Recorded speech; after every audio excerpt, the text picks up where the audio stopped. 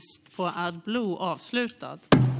Kammaren övergår då till att debattera svaret från statsrådet Khashayar Farmanbar, Socialdemokraterna, på interpellation 419 av Thomas Morell, Sverigedemokraterna, reduktionsplikten och interpellation 438 av Thomas Morell, Sverigedemokraterna, den svenska reduktionsplikten. Ordet går då först till statsrådet Khashayar Farmanbar. Varsågod.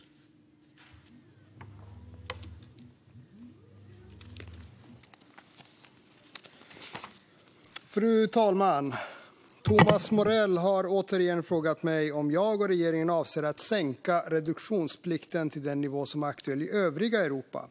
Thomas Morell har även frågat mig om jag och regeringen avser att sänka Sveriges reduktionsplikt så att den åtminstone hamnar i nivå med jämför jämförbara länder i Europa. Jag väljer att svara på frågorna i ett sammanhang. Det stämmer att prisbilden ser olika ut i olika länder. Vi i Sverige har under lång tid haft höga klimatambitioner och dessa hjälper oss nu att minska beroendet av Putins och shejkernas olja i våra bilar. Därför blandar vi in mer biodrivmedel i diesel och bensin, vilket har viss, prispåverkan, eh, viss påverkan på priset. Men de kraftiga prisuppgångarna som vi ser nu är till stor del följdverkningar av Rysslands olagliga invasion av Ukraina. Regeringen avser inte att sänka reduktionsplikten till de nivåer som är aktuella i övriga Europa. Riksdagens klimatmål ligger fast, däribland målet om minskning av transportsektorns utsläpp. Och reduktionsplikten är ett av våra viktigaste verktyg för att nå klimatmålen för transportsektorn. Däremot har regeringen remitterat ett förslag om att frysa reduktionsnivåerna under 2023 i reduktionsplikten till 2022 års nivåer. Det innebär att reduktionsnivåerna för diesel och bensin inte kommer att öka vid kommande årsskifte, något som kommer att hålla tillbaka prisutvecklingen på diesel och bensin. Regeringen har också tagit beslut om att tidigarelägga delar av uppdraget till Energimyndigheten om en kontrollstation för reduktionsplikten, där det ingår att se över om reduktionsnivåerna för diesel och bensin bör justeras från 2024. Den delen av uppdraget att redovisas senast den eh, 15 september 2022.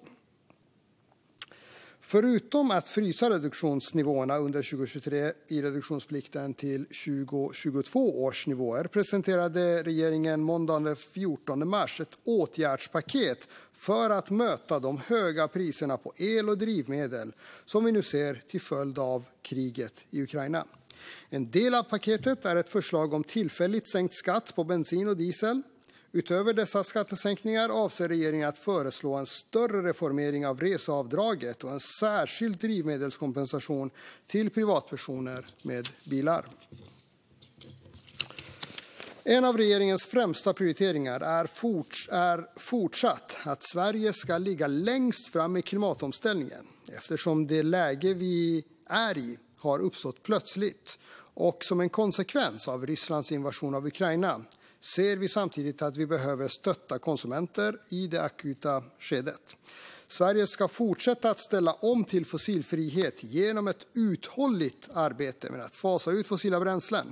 Därför kommer eh, även regeringen föreslå förstärkningar av anslaget för klimatbonusen. Tack vare detta tillskott kommer en person som köper en elbil fortsatt kunna få 70 000 kronor i ekonomiskt stöd och takten i omställningen kan fortsätta vara hög.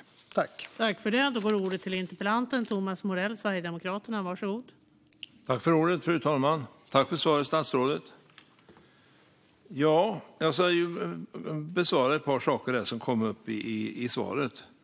Vi ska inte bli beroende av Putin eller schejkernas olja i våra bilar. Men med den höga prisbild vi har i Sverige så är det precis det som sker. För mycket av godstransporterna nu flyttas över på bilar som ligger och kör med gammal öststatsdiesel. Om man då tittar på de länderna som konkurrerar med de svenska åkerierna så ser vi i Estland så ligger det på 18 kronor och i Lettland och Litauen så ligger det på 17 eller 18 kronor och i Polen så är det 15 kronor per liter. Det är märkligt att de länderna inte påverkas av kriget utan att det landar bara i Sverige, den här höga kostnaden. För även i Danmark så är det en stor skillnad i förhållande till, till Sverige. Och jag var inne och tittade på priset nu innan jag gick hit. Så var det danska priset 14,79, alltså danska kronor. Omräknat till svenska så är det 19,45. Och priset i Sverige är idag 25,32. Det är en skillnad på 5 kronor och 87 öre per liter. Danmark torde vara lika mycket påverkat av kriget som vi. Det kan omöjligt vara en skillnad där, utan skillnaden måste finnas i någonting annat. Om man tittar på vad det gör för en lastbil som har en tank på 600 liter är den skillnaden 3 522 kronor per tank.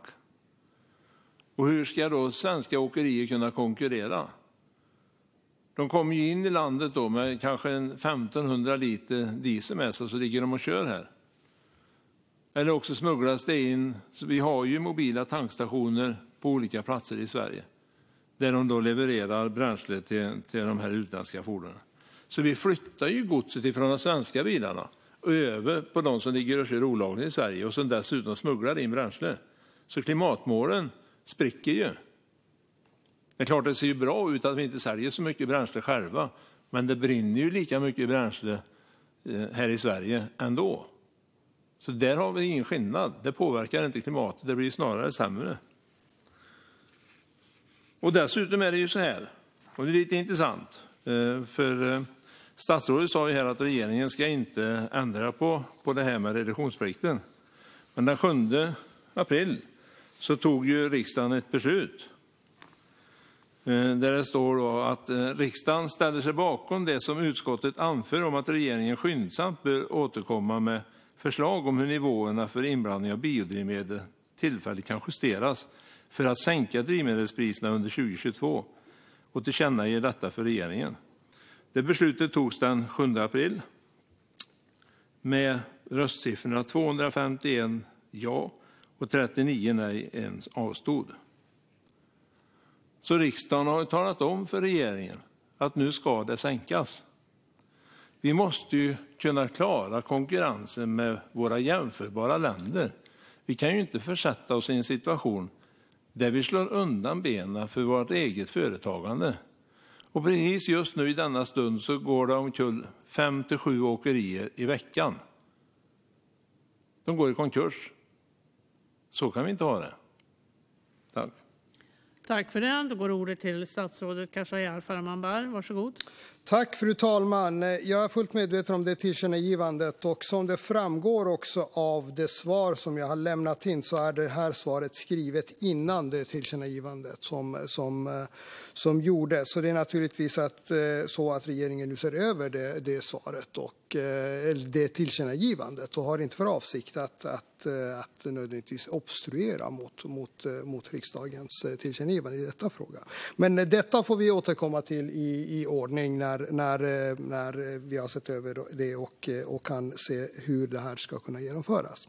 Eh, däremot så vill jag ändå säga, låt oss frigöra oss från Putins och oljeshejkernas olja i tankarna. Låt oss se till att samtidigt som vi gör någonting som råkar vara bra för klimatet, något som interpellantens parti inte alltid velat göra, samtidigt öka Sveriges självständighet. Och på den punkten är ju reduktionsplikten och alla de andra åtgärderna som regeringen gör alla de andra åtgärderna som denna ädla kammare har fattat beslut om är viktiga miljöåtgärder att hålla fast vid. Eh, jag vill också säga, jag vill gärna säga det i denna interpellation, eh, i denna replikskifte så att Thomas Morell ska ha möjlighet att svara på detta. För jag har hört tidigare eh, interpellanten ta upp just den här med smuggeltankerna som kommer i Sverige och, och, skulle, och skulle tanka. Eh, förvisso något olagligt som polisen ska naturligtvis eh, ta fast och lagföra de som begår olagligheter. Men jag noterar att det fortfarande inte anges någon källa. Det verkar vara någon form av hörsägen kring detta, någon form av eh, urban legend som som, som Thomas Morell fortsätter att eh, sprida. Jag har inte sett någon källa. Thomas Morell får gärna upplysa mig om, om, om källan och faktan bakom dessa. Jag konstaterar också att de åkerier som åker in till Sverige, om de nu skulle ha en extra tank med sig, så skulle det innebära betydligt högre bränslekonsumtion eller förbrukning för dem eftersom den extra tanken kommer att medföra extra vikt på, på lastbilen och huruvida det skulle vara lönsamt för dem att ta med sig extra tank eller inte. Det vågar åtminstone inte jag spekulera i för att att jag ser ändå att det skulle rent affärsmässigt vara högre, högre kostnad för dem att ta in en extra tank med extra vikt i detta. Det som däremot påverkar åkeriernas eh, konkurrenskraft är ju villkoren på arbetsmarknaden, lönerna på arbetsmarknaden. Det är där den stora skillnaden är. Åkerier som åker in till Sverige ja, de betalar samma pris vid pumpen som alla andra. Det är inte så att de har någon egen polsk pris vid, eh, vid Circle K när de åker in här. Utan det är samma pris. Våra åkerier, när de åker till Europa, så betalar de också lokalpris där. Det är inte så att de har med sig någon annan pris eh, som de betalar.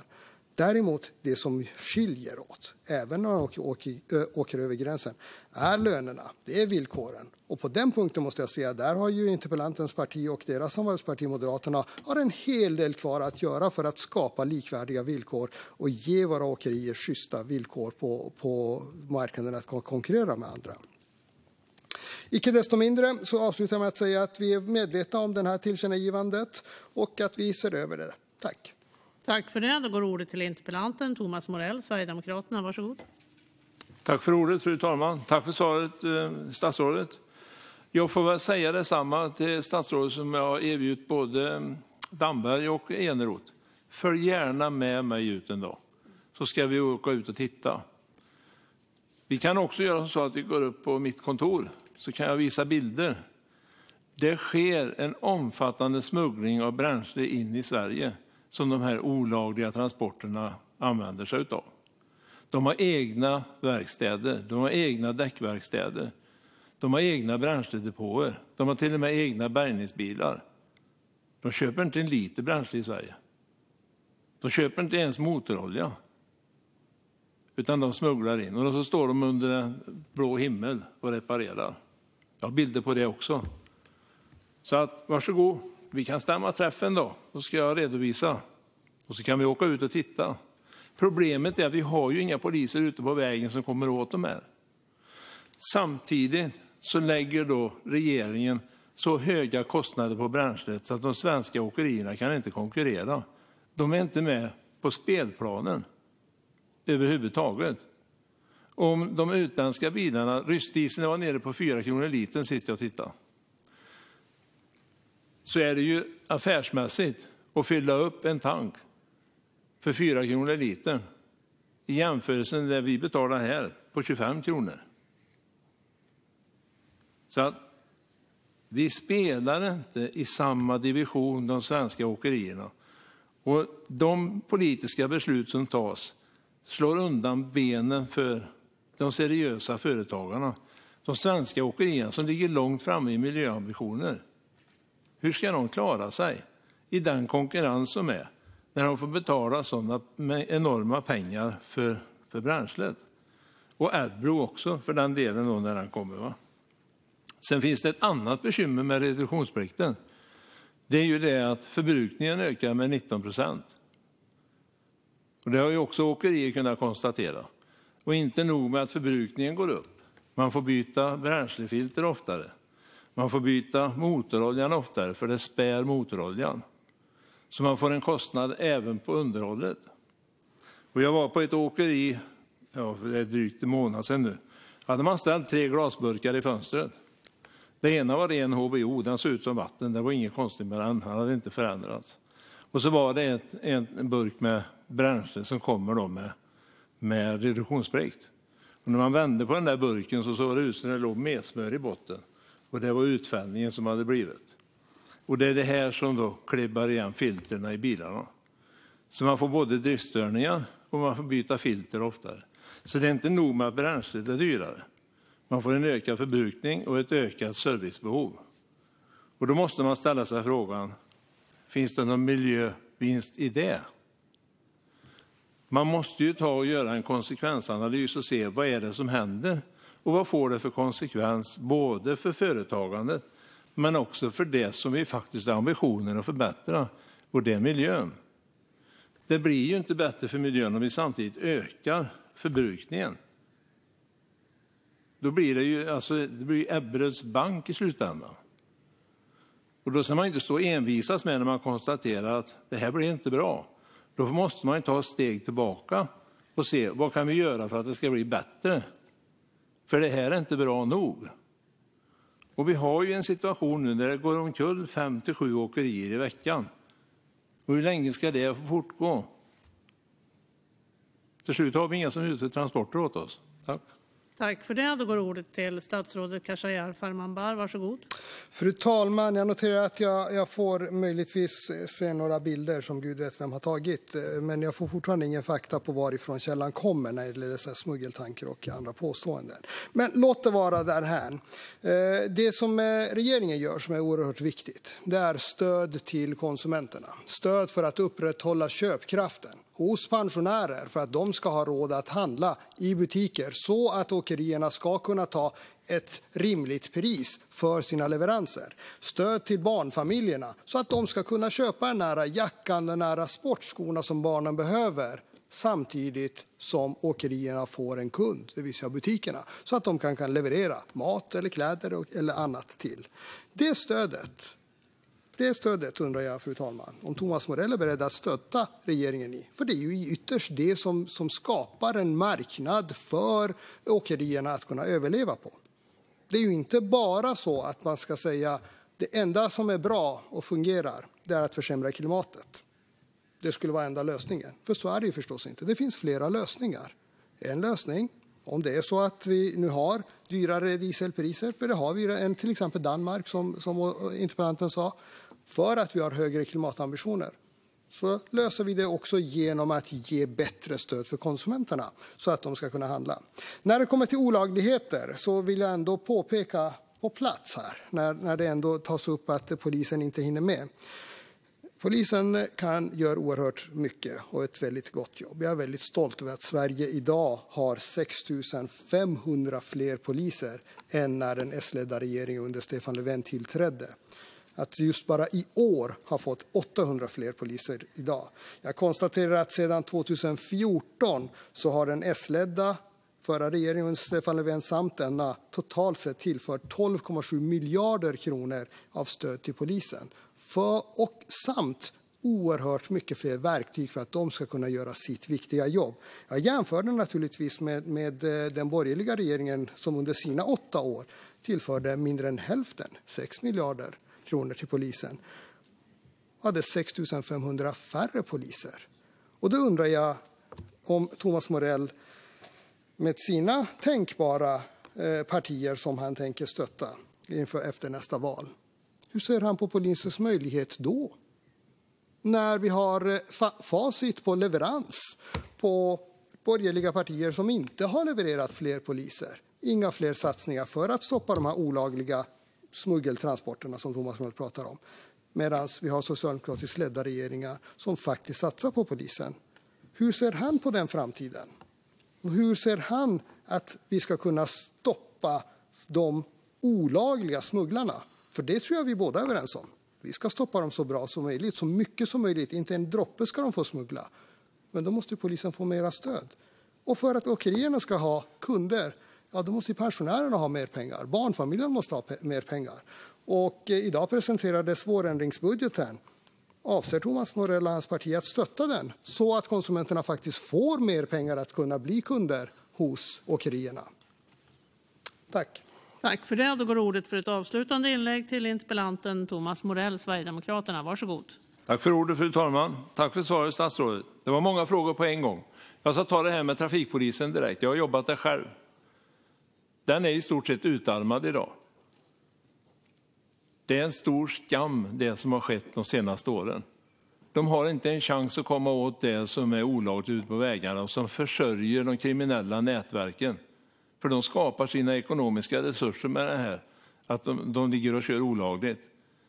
Och det är narkotika och det är vapen, det är sprängmedel och det är stöldgods som ska ut ur landet. De har ju fritt spelrum. Och det kommer jag, så länge jag står upp, och kämpa för att återta den marken som polisen har förlorat ute på vägen. Och här ska inte regeringen sträcka på sig, för det har man haft sju år på sig att kunna göra någonting åt. Men det har man inte gjort. Informationen har inte saknats, det kan jag försäkra, för jag har varit en av de som har informerat. Sen har vi nästa del. Jo, det är ju jättebra att konsumenterna får mer pengar. Men det är ju inte det som är problemet för åkerierna. Åkerierna sitter ju med avtal som de inte kommer ur. De kan inte höja priset, hur gärna de än skulle vilja. Det är stopp. En del har lyckats få drivmedelstillägg som löper på en månad i taget. Men har man ett åkeri på en 30-40 bilar så inser man ju ganska snart att det påverkar likviditeten. Om du ska ligga ute med pengarna i en hel månad innan de kommer tillbaka. Jag fick mejl från ett åkeri. De hade över 100 bilar. De förlorar 1 500 kronor varje dag de jobbar. Man behöver inte ha femma i matte för att förstå att inte det funkar. Och då hjälper det ju inte om den enskilde får mer pengar när inte transportapparaten kan ta betalt för det jobb man gör. Ni måste vakna i den frågan. Tack. För det. Då går ordet för ett avslutande inlägg till eh, statsrådet Khashayar Farmanbar. Varsågod. Tack, fru talman. Det här statsrådet hade förvisso femma i matte konsekvent, men, men låt det vara eh, därhän. Eh, vi ser nu hur Rysslands brutala krig i Ukraina påverkar hushållen, företagen, åkerierna.